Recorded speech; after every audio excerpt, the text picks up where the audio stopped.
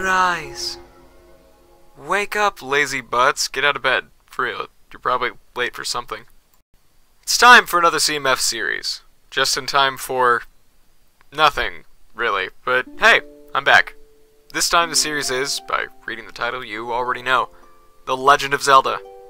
Zelda is something that I've only recently become interested in, but the story is really fun and the characters are so unique that I knew I wanted to make a series based on it. I've made two Zelda figures already, Ocarina Link and Ganondorf.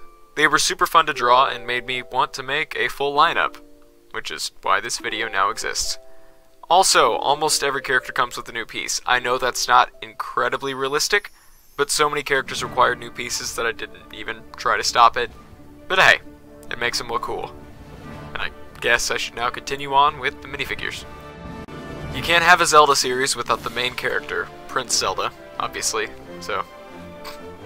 Sorry, couldn't resist. Since Breath of the Wild is the newest game, Link has his champion's garb and comes with a quiver, a Master Sword, a Hylian shield, and a new hair and ears piece. That is not the last time I will say that. Okay, now here's Zelda. Like Link, she's in her champion's outfit from Breath of the Wild, which is one of her best designs, in my opinion. She has a new hair slash ears piece, but her accessories are a Sheikah slate and a frog for Link's tasty consumption. Rounding out the Triforce is Calamity Ganon. If you've played Breath of the Wild, you will know that Calamity Ganon is not humanoid in the slightest. I had no idea how I would draw him until I saw this great art by one Simon Mackue. So, using that as the base, I was able to translate the Calamity pretty well.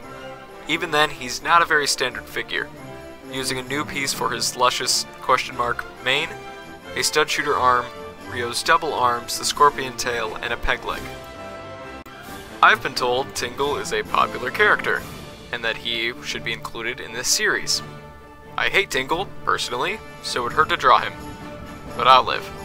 He has a new hood, a brick-built balloon backpack, say that five times fast, a brush, and a map tile of a certain landscape. Heroes need cannon fodder to brutally murder, and the Bokoblin fits that spot perfectly. Obviously, his head is a new piece, but he also uses mid-legs and comes with a club. Why have the Demon King when you can have the Demon Lord?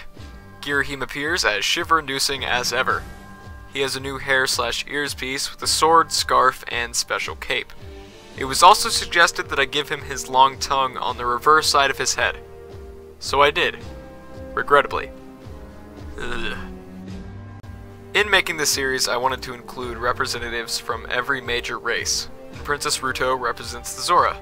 Her weird fish head is obviously a new piece, but I was able to use Storm's cape for her flippers? Fins? Wings? Is that what evolved into the Rito? And her accessory is the water medallion. For the Gerudo, we have Nabooru, Sage of Spirit. She's a comparatively simple figure, but the Gerudo detailing turned out great. Her accessory, like Ruto's, is a medallion, this time being of spirit. I don't like Revali, but the Rito needed an appearance, and because you wouldn't hear me say a negative word about anyone, he's included. Anyway, the ravioli bird here doesn't use any new pieces because he's not special enough. Mr. Cuckoo for no-show bluffs uses a Chima Phoenix's head, Jafar's armor, fawn legs, and a bow and arrow. Daruk is way better than Revali, and he's the representative of the Gorons. He may look foreign, but he's not. The spiky hair is a new piece, but everything else is existing. I wanted to give him the necessary bulk, but I've been avoiding the Mr. Incredible body like the plague. So I used Hagrid's body, and it turned out great. Daruk's giant weapon is really hard to capture, and I know that Garmadon's axe isn't a great replica, but it looks Goron-like, so I'm fine with it. Majora's Mask is one of the most well-loved Zelda games, with the mask itself being very iconic. Because of that, Skull Kid had a spot here from the beginning. The mask is, of course, a new piece, which snaps onto Skull Kid's hat, which is also new. Remove the mask and you get the imp himself. He also comes with two recolors of the Golden Snitch piece, representing his partners in crime, Tatl and Tael. Wait a second. Those combined make Tattletale. Why am I only just now getting that?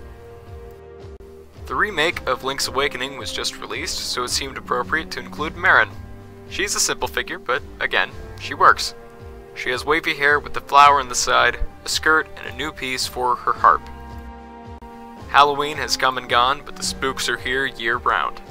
The Redead is included for his spoopiness, and yes, the fact that he would be relatively easy to make. Uses Iron Man's helmet in dark orange with that terrifying grin showing through. I didn't want to include only console characters, so Vaati seemed like a good fit. His ears, hood, hair, whatever you want to call it, thing is a new piece, with a cape, mid-legs, and a power blast to fire at the princess. The second version of Link to be included is technically the Link from The Link to the Past. What do I mean by technically? Well, he's sort of a mishmash of Link to the Past, Link's Awakening, and Link Between Worlds, making this handsome fella all mashed together. This way, you'd be able to make him have adventures with Zelda and Marin, depending on who you ship. His hood slash hair is new, and he comes with a sword and shield. Speaking of Zelda, she follows Link, also in her Link to the Past slash Between Worlds design. If you've noticed, I've now made all of the main characters in their Smash Ultimate outfits. Ganondorf from Ocarina, Link from Breath of the Wild, and now Zelda. She uses a new hair slash earpiece and comes with a cape, dress, and a fairy bottle. We've had the force of nature, so why not include the genius in Link to the Past Ganon? Honestly, I think he looks fantastic. He has a new pig head piece, orc shoulder armor, a cape, and a trident. All he needs now is some sages to kidnap, slash kill, or whatever, and he'll be perfect. The last link is Toon Link, a worthy inclusion. If you notice, Vaati and Toon Link use the same hair slash hood piece, which I think works great for both of them. Because the other two links have swords and shields, I thought I'd change it up and give Link this other iconic weapon, the hookshot ready for a swinging action. Toon Zelda's next. Hopefully you're seeing a pattern by now. Toon Zelda is a great, colorful design and one of the most fun to draw. New hairpiece, obviously, but also a light bow to help defeat... Toon Ganondorf, obviously. The last figure in the series was, again, super fun to make. Overall, I found the Toon designs to be the most interesting. If, you know, a lot simpler. No new pieces here, he uses 12 Doctor's hair in orange, the arm capes from Cinder, and two swords with tassels. Yeah! This series was, seriously, really enjoyable. With super colorful characters, the differences from all the game designs, and how interesting I find the world of Hyrule and beyond, it was one of the most fun I've had with a single series. And I think it's overall one of my best. Also, special thanks to Meerkat from RSG who helped come up with the character list. For the packaging, I decided to go with the Sheikah Slate design with runes, for Sheikah runes. Same with the layout, which uses the same slate background. That is, all 20. Now, I am aware that there are some characters that you think might be missing. Some of those might include Sheik, Impa, another version of Link, Zelda, or Ganondorf, and King Harkinian, obviously. Believe me, those were remembered. But hey, with such important characters missing, this leaves room for a Series 2. And with how fun this one was, a Series 2 is probably an inevitability in the future. But this might be the only CMF series in November.